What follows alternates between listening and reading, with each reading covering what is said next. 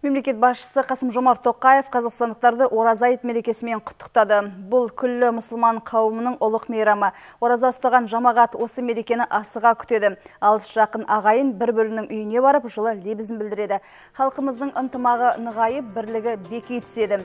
Ислам имандылықты, бейбітшілікті, мейірімділікті дәріптейтін асыл дін. Осы игі құндылықтар елдің амандығы мен берекесін тілейтін ұлтымыздың салт дәстүрімен біте қайнасып жатыр. Сондықтан бұл бір шаңырақта тату тәтті өмір сүріп жатқан барша жұртымыз үшін қадірлі ұғымдар. Халқымыздың ырысы мен ынтымағы арта берсін, айт қабыл болсын ағайын деді мемлекет басшысы.